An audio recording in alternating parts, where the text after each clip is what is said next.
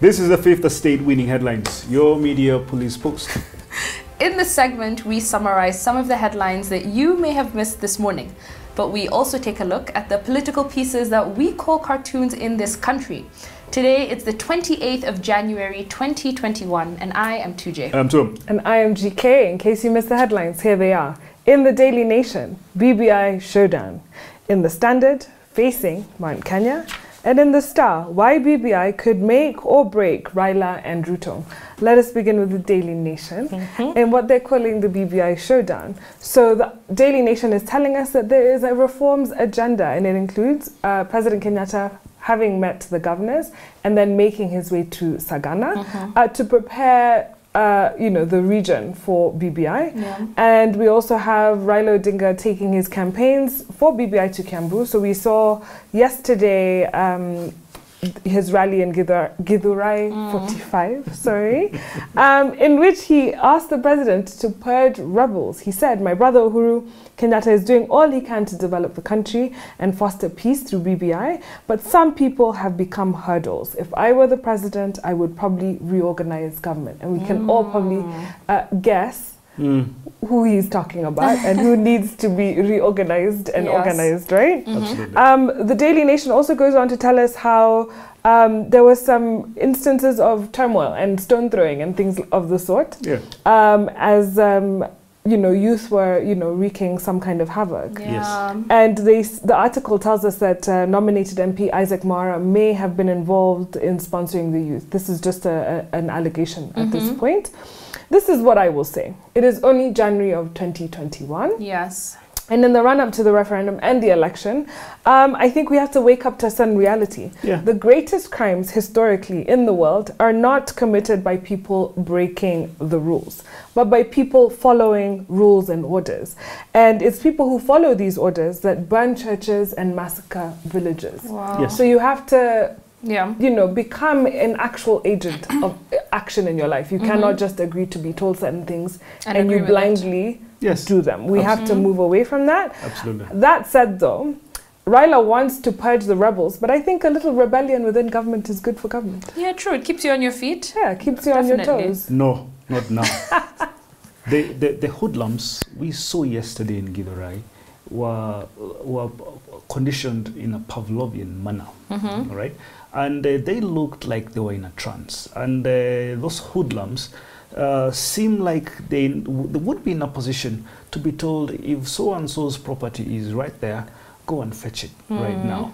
I mean, GK, what you're saying is this if this is happening in January, what will happen in 10 months' time when Yeah. Ruto, or six months' time, when Ruto mounts uh, uh, uh, the opposition, an opposition against BBI? We are headed, and I hate to say this, but I feel like we are headed to a class war, right? Mm-hmm. Those people who stay Lavington, Muthaiga, Runda, Karen, please be very watchful. And I don't want to scare you because just do not know that stuff that you may have in your house in six months' time Okay, may belong to um, wait, else. hold on. Class war doesn't necessarily have to be so elitist that you're speaking specifically to the people in Runda. I don't think that's Look. what it has to be. Look. I think we have to contextualize what a class war has to be or needs to be to be To- successful. 2J, yesterday. It's not about the 1% in To- Kenya 2J. versus 2J, yesterday people woke up with uh, their cars in Roysambu, some in Buruburu and some other places, marked D and then X. Mhm. Dynasties X. And that's right? my and that's my Spring. very and that's my very point. And- and I hear because you. the way the way that this narrative is being framed, it's border borders versus car owners, and I don't think that has to be Runda versus Kawangware. By the way, I think that could be as simple as Wh- wh- what I was- as no, What I was saying was just an example. Mm-hmm. It's just an example. of course. But the end game here is to uh, introduce a dynamic of conflict that we have not seen in this Which country. is very dangerous. Which I is very, very I agree dangerous. with that. Which is very dangerous. Yes. I, I don't want to just say Runda versus uh, Kawangware Yeah. or, or you know you know that's not just the point. The point is we are headed to a place where the have-nots will say uh, because you seem to have it, then I will come for that For that which you have, yeah, that I because, do not. Because you are to blame for that. Yes. That's what I'm saying. All right, so we have a three part criteria that we will use to break down these headlines. We'll ask ourselves is it topical or speculative? Is it repetitive or groundbreaking? Is it thoughtful or just plain lazy? Yes. I think we've had good conversation on this table. Uh, it is a showdown nonetheless. We will pack it. However, is it a BBI showdown? I'm not so sure if that's accurate. Yeah, I don't know if it's a BBI showdown, Yeah. but yeah. So maybe we can Yeah. toss it based Toss on it, that. yeah. Yes. It'll make our life easier. On to the standard The facing Standard. Mount Kenya. Facing Mount Kenya, President Uhuru Kenyatta is scheduled to descend on Mount Kenya tomorrow for a five-day visit Mhm. uh, to Mount Kenya. And I think that's a Meet the People tour. It's not just a development tour. Yeah. And, um, and, and what the standard is telling us is that CS Mutahi Kagwe and PS Nicholas Muraguri had met leaders in Nyeri to brainstorm on, on, on this scheduled visit by the president. Now, I won't go much into what the, stand, uh, the standard says, but what I want to say this is, uh, is this Mount Kenya is the equivalent of Mount Sinai. And Uhuru has gone to tell Kikuyus that they have been worshipping the false god, the false gods of Baal.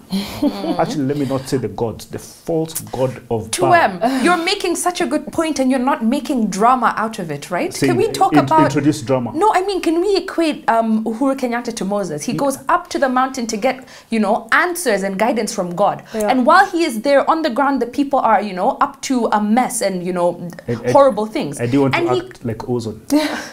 not acting like ozone. I'm just trying to give drama to what you're saying because Yeah. it's a fantastic drama, point. yes, yes, right? yes, yes. And so he comes down from Mount Sinai, which we're now equating to Mount Kenya. Yes. And he finds that the people of Israel are Yes. worshipping false idols. Yes. Right? And Yes. who is this false idol? It we are saying William that central. Ruto. Okay. That's it. There we go. Yeah, he, he, we just say it. Exactly. So William we're saying that yes, he has come down from the mountain with the answers, and he's going to speak to his people and guide their misguided, Yes. you know, agendas. Absolutely. You're So welcome. So Yes. what I liked about the standard, I, it's a shame you've chosen not to go into it, is a statement by It's not a shame. It's just useless. No, but listen, Kabando wa Kabando makes a valid point. Mm-hmm. He What- says that uh, the, the region is politically and hugely disorganized. yes. And this is why this visit is so important at this juncture. Mm-hmm. A, but he says that he thinks that past retreats have sort of failed to change the tide. Hmm. Now, my advice here, if the president would like to take it, should he want to, is that you catch more flies with honey than with vinegar. Hmm. I think on previous visits he has gone and he has really, you know, shouted and yelled Lectured. and lectured them. And I think this could be a meeting of minds moment. I think uh, if some if a strategy has not worked before, it is worth perhaps shifting it and seeing yeah. what can work this time. However, Because I, I don't think- think whipping central is what is going to get them. and, to and come I think your and I think. GK, you're giving great advice, and I think the president has heard it. Not only will he not hear it from you, but from others as well. I think we're gonna we're in for a lot of interesting surprises Yeah. come Monday, Yeah. right? I think when we hear of the conversations that have been had, decisions that have been made uh, that have been made, I think we're going to see a new Guys, central Kenya. Let Yeah. me tell you this, GEMA, please don't get it twisted. You don't matter so much at this point in time. All you need, all we need, is just a million votes or 1.2 million votes in BBI, and we'll get there. Second, So you're saying BBI doesn't need Kikuyu? I, I mean, yeah, they, they can go support 85%. If you want William Ruto, please take your step. Second, uh, Kabando Kabando is not telling us anything that we do not know. Yes, he's just describing a situation that has been there.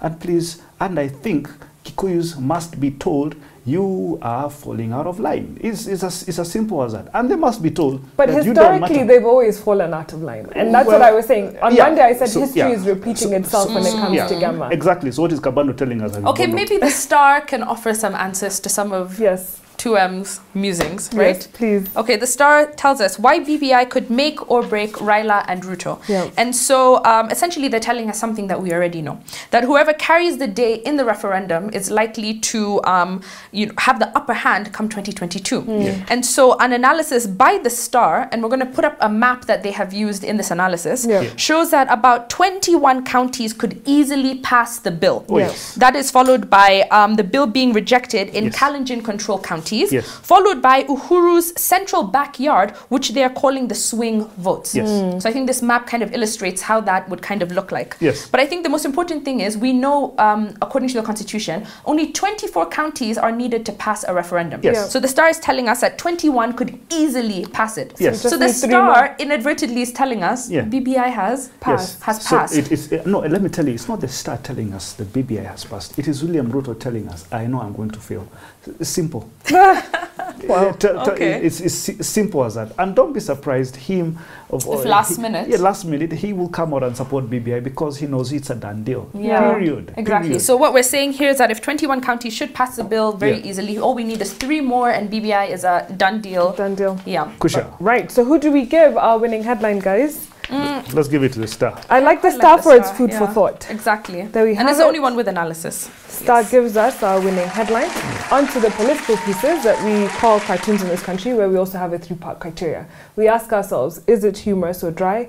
Is it satirical or pessimistic? And is it effective or just plain lazy? Yes, here you have. Uh, the Daily Nation. Yes, Daily Nation, Iga, and that's caricature of Raila Odinga, and who's next to him there? It's Uhuru Kenyatta, I Uhuru, think. Uhuru Uhuru Kenyatta, and they are jumping over the hurdles. uh, They are doing steeplechase. So we've jumped over Uh, signatures. now we're signatures, going to county assemblies. and they think when they jump the county assemblies, They get to parliament. they go to parliament, and if, when that happens, uh, we do have a referendum. Exactly. Simple as that. Yeah. Mm, Yeah. alright. it's Uh, interesting. It looks like there's one set of legs.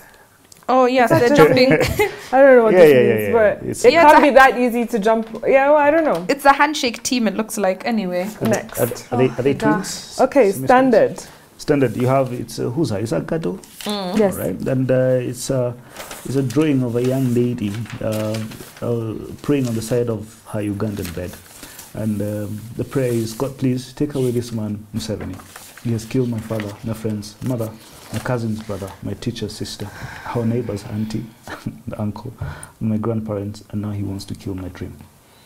I think Gado was not working yesterday, and he gave something that he was having in store. Yeah. Um, Guys, okay, just throw it. Like you're, have, you're having I have, difficulty. I have no comment what's. No Yes. comment either. Yes. Let's move to the star. Yeah, there you have caricature of Miss Sonko, and uh, it's Miss because he's wearing a shuka, right? Wow. and uh, there he is taking out dirty linen, and part of the dirty linen is a torn uh, jubilee. I don't know what is a piece of cloth next to them. It's underwear. It's underwear. It's Yeah. that's exactly what it is. The caption there is "I have more dirty linen." No, but how look look at how dirty that Jubilee underwear is. it's it's I mean it's, It's really so dirty. crass. it has like poo poo stains and. Yeah. Can I? I, mean, I feel like the way Sonko is going, he'll soon tell us who killed Robert Ouko. Oh like, my it's, God. it's all secrets no, are no, coming out. no. He'll actually tell us who killed Tupac. And Yeah, as well. Did you see? He Yeah. made a statement talking about the death of Msando. yeah. And he was talking about who was there on the scene. I'm not going to go into his speculative statements, Yeah. but Yeah, we all know. No, no, this guy should just be ignored totally. And anyone, uh, please don't listen to this guy. I think he's.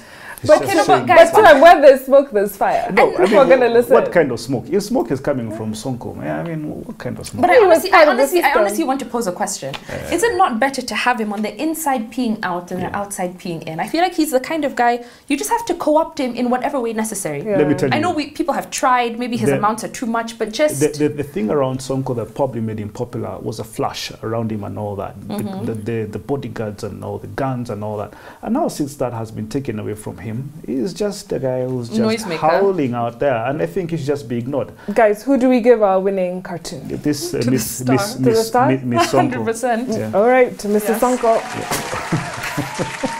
and now for our final thought. But before we get there, please remember to subscribe to our YouTube channel, but also hit like.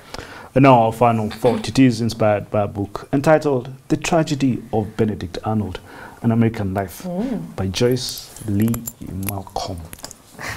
Yes. So this week, as you know, we've been looking at some of the um, most famous betrayals in history. And today we go to the tragedy of Benedict Arnold. So on September 25th, 1780, the American Revolution was in its fifth year. General George Washington and his senior aides were in a state of shock. Before them were captured documents that revealed the most notorious act of treason in American history a plot to sell out America's most important stronghold to the British in West Point, New York. And surprisingly, this plot was devised by West Point's very own commander and the war's greatest hero, General Benedict Arnold. And so, Benedict Arnold, if you could say quite liberally, is the American version of Judas um, Iscariot. Yes. But to be fair, we really have to understand why um, Arnold betrayed the cause that he had supported for so many years before. Yeah. So Benedict Arnold was George Washington's best bravest, and most able uh, battlefield commander. And history records that Arnold was a great battlefield commander. He had these magnificent instincts in battle, but he had a very fiery personality. If you served with him, you respected him. But if you were an officer trying to work with him, it was possible that you had a very different opinion. He was not a man of politics. He made enemies very easily, hmm. and so he was a constant source of controversy. But he had these genuine talents and he loved his country, and George Washington really recognized those talents. Hmm. And so, as a general in the American Revolution, he was a hero of a battle of one of the battles that was called the Battle of Saratoga, Yeah. Yes. which was a victory for the Americans and a turning point during the Revolutionary War. Hmm. But after this, you know, him being crowned a hero, five generals were um, promoted over Arnold himself. And so, angry and crippled, I believe, he moves to Philadelphia where he marries 18 year old Peggy Shippen, a beautiful young woman who also had ties to the British Empire, the colonizers at this time. And it's after this marriage that it is believed he started planning his acts of treason. and so, in May 1779, Arnold secretly contacted a British general to um, discuss the possibility of switching his allegiance back to the crown, the monarchy Yeah. and he demanded 20,000 pounds for turning his coat. and so his move culminated in 1780 when he secretly met a British general and he finalized these plans for West Point, where he handed over these plans. And this would have been a huge turning point for the war and a blow to the Americans, but it actually unraveled by mistake.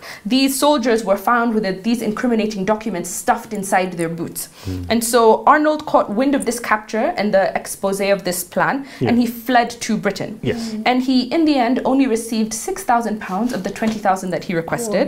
Um, and he ended up resuming his previous job as a merchant ship owner. Yeah. He died at 1801 at the age of 60, and he was also buried without military honors. Oh man. And- what a life. And you guys said Kikuyus love money. well, in today's money, it's like t- it would have been two million pounds or something. Like Two million Wow. pounds, which Yeah. is, uh, I mean, what? That's about 300 million shillings. However, guys, Anyway, you know, betrayal doesn't pay off. uh, absolutely. Tell that to GEMA, if Ruto side. you know, when Benedict sold um, West Point for a whole 20,000 sterling pounds, he actually put it down in writing. What a fool this guy was. The man wrote a letter to John Andre, and Andre was a top aide to a British commander. It's called Sir Henry Clinton. Now, he thought by coding the message, no one would actually intercept it. Now, in the letter, he states his consideration, which is 20,000 sterling pounds, for revealing vital information about troops and equipment at West Point. Now, this is what he wrote after the encoded message was decoded. this is what he wrote. On the 13th, uh, on the 13th instant, I addressed a letter to you expressing my sentiments and expectations that the following preliminaries be settled previous to cooperating. Mm-hmm. First, that Sir Henry secure to me my property valued at 10,000 sterling pounds to be paid to me or my heirs in case of loss. Hmm. And as soon as that happens, a hundred pounds per annum to be secured to me for life in lieu of the pay and emoluments I give up for my services as they shall deserve. Wow. If I point out a plan of cooperation by which Sir Henry shall possess himself of West Point, the garrison, etc., etc., 20,000 sterling pounds, I think, will be a cheap purchase for an object of so much importance. Wow. He knew he knew what he was doing. At the same time, I request a thousand pounds to be paid for my uh, to be paid to my agent. I expect a full and explicit answer. On the 20th, I set for West Point. A personal interview with an officer that you can confide in is absolutely necessary to plan matters. In the meantime, I shall communicate to our mutual friend, Stansbury, all the intelligence in my power mm. until I have the pleasure of your answer. Wow. what a guy. what a guy. You sold your entire country for 20,000 sterling pounds. And you people say Kikuyus love money? I like how you had to drag Kikuyus into this. um, I quite enjoy. I had never heard of Benedict Arnold. Yeah. However, I feel like this betrayal is not as black and white. And I feel like it's important, which is what this book does, to give the man context. Yes. So, as the war had worn on, many had lost their enthusiasm and dropped out of the cause, leaving Arnold increasingly frustrated by his fellow uh, citizens. Hmm. And, and he, he was disgusted almost because he was such a patriot. He really loved his country and the cause of what the revolution was about, Mm. or the war was about.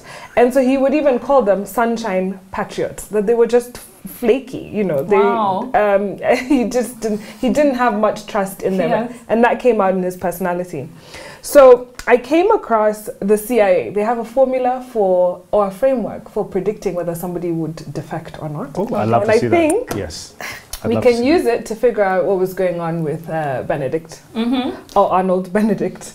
Um, it, it is individual psychology multiplied by circumstance Mm-hmm. equals defection. And it's not an exact science, but Yeah. if it is true, it says that we're all prone to varying degrees of situational unhappiness Mm-hmm. and that self interest often motivates our desires. So, if we look at, for instance, his individual psychology, um, there's a book by Eric D. Lehman, um, who did a book called The Homegrown Terror Benedict Arnold and the Burning of New London. Mm-hmm. And he notes through correspondence that letters that uh, Benedict would write Mm. that um, he was often lacking in feeling, i.e., he was sociopathic, um, and others often showed him as having too much feeling. He couldn't control his temper. Mhm. And the number one thing he found across all the correspondence was his selfish ambition, which came from a profound lack of self esteem as a child and a young man. So the book itself goes through his, you know, um, how he grew up, Mhm. father leaving him with no money, having to work, all those things. Mm. And I think the individual psychology in this case is leading him to this idea of personal honor versus country honor. So we have the circumstance in which, uh, or the context in which we see um, a man with great ambition. Mm. In fact, they say he's a man on the make, a man in a hurry. He was successful in business, and then wartime happens. So um, the taxes and all those things start to hinder his business. And then he still owed Congress about a thousand pounds, a sum that he, they say would probably have bankrupted him. And he didn't want his children to suffer the humiliation of being the sons of a debtor. Mm. So this, all these things have taken a toll. And then Peggy, the love of his life, who's younger than him, he's bought this lavish house of which he must uh, Maintain and- maintain and Mm. pay for. So you have circumstance there, which is leading him. He's he's in a desperate place. And then he had been passed over multiple times by younger um, people in the military, and so he would he was increasingly frustrated because he was such a good um, General. general on the battlefield, but he wasn't getting the recognition. Yeah. And then he had been court-martialed by people who he respected and loved. Yes. And so there's this increasing frustration. I see. So when you do those things, so his individual psychology, his personality, Yes. multiplied by the circumstance in which he finds himself, Mm. The level of defection was likely Yes. to be high, Mm. and which is what we saw. Yes. Now, the interesting thing I like about this book was the thing they say about the hero of one side can be the traitor on the other side. Now, he thought that by being a traitor, he was doing himself this big personal honor that he could Mhm. continue to pay um, and hold his family together. Mm. But for his country, they saw this as the biggest uh, betrayal. Yeah. And this selfish ambition got in his way, Mhm. essentially. Um, and so the last thing I will say is um, on this, the real tragedy, which is what uh, Malcolm Lee says in the book, is that a brilliant and heroic man opted to betray the victory he had done so much to achieve in order to retain his personal honor.